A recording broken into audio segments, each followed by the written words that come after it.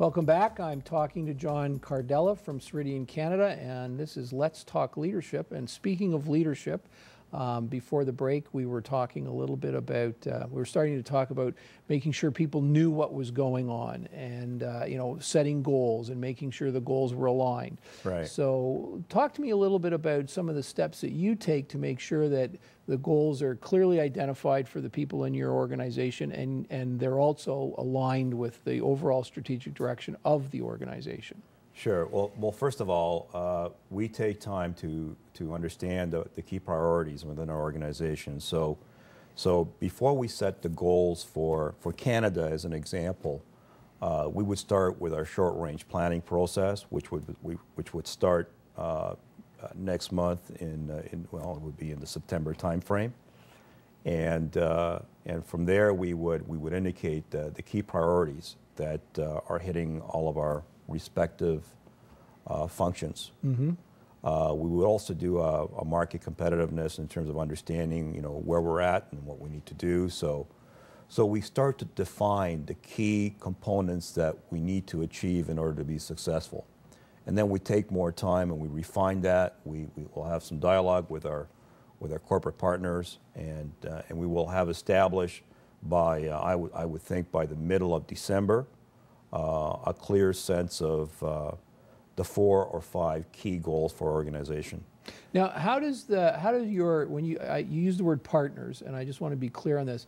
Um, are those the people you're pro- providing services to? Because I, I get the sense that you don't see your customers as customers, but more as partners. Is that a fair observation? Uh, yeah, that's a fair observation. You know, we are part of a global business uh, services company, and so uh, there is a, a, corporation with corporate officers, and Canada really reports into the corporation. So we want to ensure that we have an interlock there with them right. that, that they've bought in into, uh, into where we're going, what we want to do to accomplish our goals, and so continue does, to make money. So where do the partners that you provide your services to fit into that part of the process? Because I understand that, in fact, some of your what would possibly be called customers actually outsource the entire process to your organization.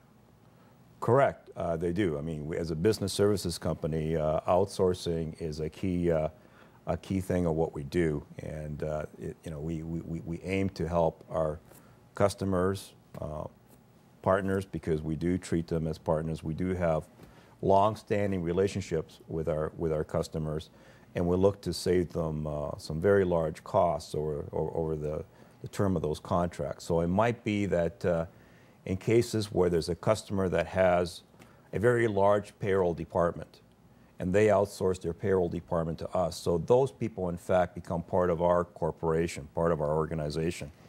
They entrust us to then run their payroll, pay their people properly, ensure that they maintain the credibility, and we reduce cost on their behalf because this is, you know, that's what we do. Our yeah, so how do you bring them people. into that strategic planning process? Those those partners or customers. Excellent question. Excellent question. We have uh, we have customer advisory boards which we meet with on a regular basis, and uh, so we will invite uh, um, over the course of one year. Uh, probably up to 15 uh, different uh, customers. They're key uh, uh, decision makers within those organizations to help us guide our, our goals for, for that year and for the short range and also for the longer term, ensuring that you know, we stay focused on delivering the kind of value that they're looking to see. Yeah, and what I find you know important about that for people that are right. potentially watching is that there's not much point in developing your own um, strategic priorities in a vacuum if they're Correct. not really addressing the needs of your customers. So if Correct. you really want to be a customer focused organization, you really have to embed the customer into your planning process, get the input. They're just as important as the frontline workers are in terms of the planning process because they are the people you're, you're serving in the end. Absolutely, absolutely. So, so we do that, Bill. Uh, we get our goals all blessed and good to go. And once they're done, then we start sharing them with our people. And then at that point, it's typically the, the usual cascading process that, mm-hmm. we, that we follow. So our, our, our president will basically have uh, his four or five goals uh, that needs to be, uh, needs to be uh, accomplished. And then we all basically say, okay, how do we help uh, the president achieve those goals? And I have my goals out of that that I that I'll craft, and uh, and then we craft uh, similar type goals for all our people. So by the time that the whole process is done, and it usually takes us on to March, um, most of our people will, will, will have a sense of what those goals are, and they will have had a dialogue, a conversation with their boss to understand what they need to do as well. So I want to spend a little time on that because I love what you just said, and, and I'm a huge believer on cascading down your goals. I, I find that too many organizations, number one, they get people, uh, I'm going to call it the frontline people, they get so focused on tasks, they don't know why they're doing what they're doing. Right. And they don't see how their objectives tie it all to the organization as a whole. But the process that you just described is, is that the, the senior leader starts the process and Correct. it cascades down. I find so many organizations start at the bottom and Right. it makes no sense. It's disjointed. So tell me a little bit, you know, for folks uh, who might see this as a little bit different way of doing things. So the boss starts and he writes his and he comes up with four or five objectives and you look at those and you Right. look at the team that reports into you and say, what can we as a team do Correct. to contribute to those four or five key objectives? And you kind of put your hand up and say, this is what we're going to do. I do that. Our salesperson does that too. Our financial leader will do that too, the same as our operations leader. So we all basically do that. And there's got to be some joint accountability on some of those goals, doesn't there? Definitely, definitely has to be joint accountability. And so right? now what you're talking because our bonus is, is right on it at the right. end. So that mutual dependency is how you break the silos down in an organization. Yeah. I mean, at the end, uh, you know, we're all in together. Uh, we're there to basically, you know, accomplishing those goals means that uh, that we're successful for the company. That we basically deliver to the both the top line Yeah. on the revenue side and on the bottom line, which is uh, which is what we also need to do, along with the uh, some of the other key components that are also important to the organization. And you know, you, you make that happen, and then typically, you know, that, that triggers perhaps uh, incentives for the executive team. It triggers, uh, you know, merit pay for all your employees, and it triggers uh, the benefits and all the other components of compensation that we do have for our people. So I just want to follow through that thought. So the, the CEO or the president identifies their five. The next level, they say, here's what my team can help and contribute. Yeah, I can accept Yeah, part of it or, or rework some of my boss's goals to make it Right. more achievable. so everybody's in alignment. Then you Correct. turn to your team and say, folks, here's what I've committed on our behalf. Correct. How are we going to deliver against Correct. this? And then they start, and that cascades through the organization. Right. right. So at the end of that, the frontline worker who has now said, these are my goals and objectives based on their supervisors, can look at that and say, when I do these, when I achieve my goals, I can see a direct line right to the top and say, that's how I'm helping this organization.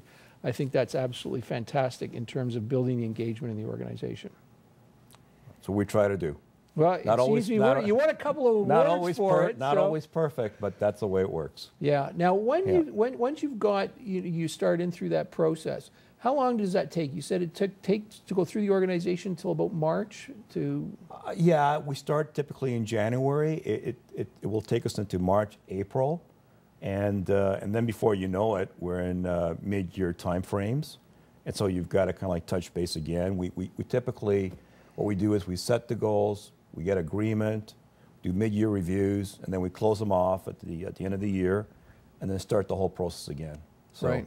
That's So it's an it ongoing process. It's It's, not ongoing, just a one an day, on- one no, year. it's an ongoing process for sure. and how do you track your goals over the course of the year? Is is is there uh, is there sort of a monthly scorecard that's that's produced, or I mean, and you don't have to give me the specific details, but just help me understand how another organization can sort of look at Ceridian and say, geez, they're doing that. That's something I might want to do as well. Yeah, there's uh, typically there's talent management software out there, and what that is is performance management software that uh, automates the whole process. And so as it automates, it also tracks completion, so you know what you have outstanding, you know what you still have to take care of, and and you can get uh, easy measures for the entire organization in terms of where you stand. So, how often would a typical person get that feedback from that process in terms of, you know, how am I doing? Would they get it only at the mid year or is it more of an ongoing process? Well, at the mid-year, it would happen would be a little bit more formal, I would say. Uh, but typically, uh, most people would get that, uh, you know, informally through uh, other other other means, whether it's through recognition or whether it's informal sit down with uh, with the supervisor or other areas. Uh, we have, you know, we're somewhat blessed in our organization. We do have some amazing managers and and our engagement stays high, but it's largely as a result of our, uh, our management teams. Um, uh, their engagement levels amongst the management team is also quite high. Yeah. And, uh, and that helps to drive the tempo forward.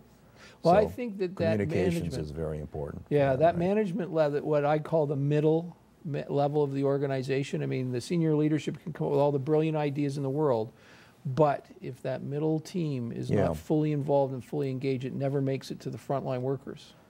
Well, it's funny, you know, I'll, I'll give credit to a, a, good friend of mine, Ted Eman, who was uh, um, a senior consultant with, uh, with Hewitt.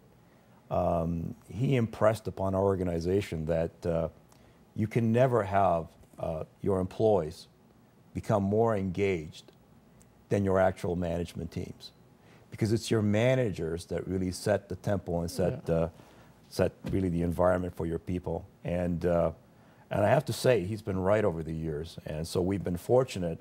Um, I, in fact, I looked back before our meeting, and uh, our management level engagement with the senior managers was at uh, was at 80, 83% for our company, which is terrific. And, uh, and so that's what drives that rhythm and tempo for, for yeah. our people. Yeah, absolutely critical. I mean, it just, yeah. so although it is driven by the top, I mean, that, that middle level, I will often say to, when I talk to that, that group, that you are the most important element in this organization because you take the vision of the senior executives and you actually bring it to life. Yeah, exactly. For an employee, you know, there's, there's three things that are very, very important to them, and it's everything. One is the company they work for. Is it is it ethical? Is it is it does it have a good reputation? I feel pride in where Do I work. Do they feel pride yeah. in that company? Uh, two, it's their boss, it's their supervisor, and three, it's uh, it's the actual work that they do. Yeah. But of those three components, you know, uh, it's my experience that uh, the supervisor plays possibly the biggest role. Yeah. More so than just the job itself or the company, because when you think about it, if they're working for a so-so company, but they have a great boss that gives them the latitude, gives Happens them the support, the, the, recognition, they love it, right? So, you know, they can put up with two out of three, but when the supervisor is not there, or when the supervisor is not very good, they're gone, right? Yeah.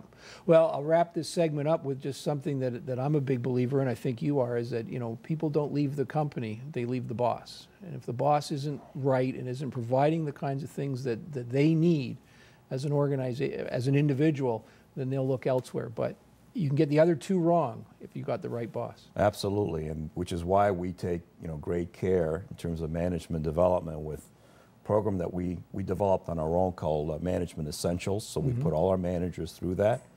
And this year, uh, again, through career progression and listening what our people are looking for, uh, you know, we created a neat uh, new uh, initiative called Top Talent within our company. And again, it was all driven by our employees. They applied. Uh, we got overwhelming response for 16 of these positions that we're going to develop into our, I guess, tomorrow's leaders, if you will. Um, and, uh, and again, the, the, the, neat thing about that is that it's going to give these people the opportunity to work on real life projects. Mm-hmm. They work with people that they would not normally work with because it's cross functional. And uh, our hope is that we'll be uh, terrifically successful so that because when you do this, when you do these things, other people look on to see what the company is doing. Yeah, absolutely. So we hope to set uh, the bar very, very high in terms of uh, our management development and and create leaders that you know keep uh, you know the great work environment, the great uh, I think approach that we have in our company going. Great. Well, we're going to take another break, John, and when Super. we come back, I'd like to talk a little bit about recognition strategies that you're using in the organization. Great. Sounds good.